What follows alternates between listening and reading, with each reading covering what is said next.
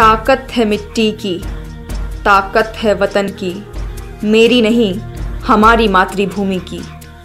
उनतीस प्रदेश, एक हज़ार छः सौ बावन भाषाएँ, चालीस से भी ज़्यादा त्यौहार। एक देश, भारत देश। हमें गर्व है भारतीय होने पर।